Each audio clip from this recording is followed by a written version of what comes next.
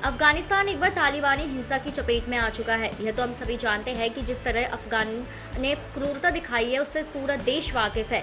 साथ ही उसने देश के बड़े हिस्सों पर अब हिंसा के बलबूते कब्जा कर लिया है, जिससे लेकर, जिसको लेकर पूरी दुनिया में चिंता जताई जा रही है। वहीं हाल ही में अफगान से ताज़ा मामला सामने आया है। जी हाँ अफ़गानिस्तान की राजधानी काबुल में गुरुद्वारा करते परवान पर चरमपंथी हमला हुआ है, जिसमें अधिकारियों के अनुसार एक आम नागरिक और एक तालिबान सुरक्षाकर्मी की मौत हो गई है और सात अन्य लोग घायल है। साथ ही उन्होंने बताया कि काबुल पुलिस के प्रवक्ता खालिद जरहाद ने कहा कि हमला खत्म हो गया है। हमलावरों को मार डाला गया है। वहीं आपको बता दूँ कि यह हमला शनिवार को सुबह हुआ था। इससे पहले मीडिया रिपोर्ट्स के अनुसार अफ़गानिस्तान की तालिबान सरकार के गृह मंत्रालय के प्रवक्ता अब्दुल लफीर टकूर ने बताया कि गुरुद्वारे के बाहर कई धमाके हुए, जिसके बाद से हथियार बंद चबरमपंथी गुरुद्वारे परिसर के भीतर चले गए।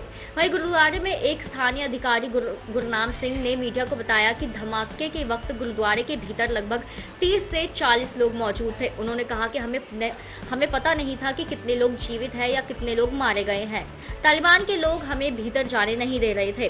वहीं इस हादसे को लेकर पंजाब के मुख्यमंत्री भगवान भगवंत मान ने का बयान सामने आया है जिसमें उन्होंने काफ़ी दुख जताया और कहा कि यह काफ़ी दुखद घटना है। यह पहली बार नहीं हुआ है वहाँ तीन चार महीने में अल्पसंख्यक समुदाय पर हमला होता ही रहा है। मैं प्रधानमंत्री से निवेदन करता हूँ कि अफ़गानिस्तान के राजदूत को बुलाकर एक सख्त संदेश भेजा जाए।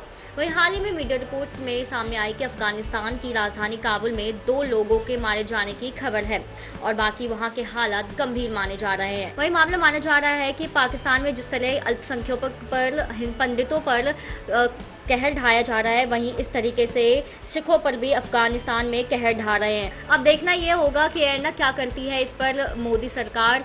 तब तक के लिए आप हमारे चैनल को लाइक, शेयर एंड सब्सक्राइब ज़रूर करें।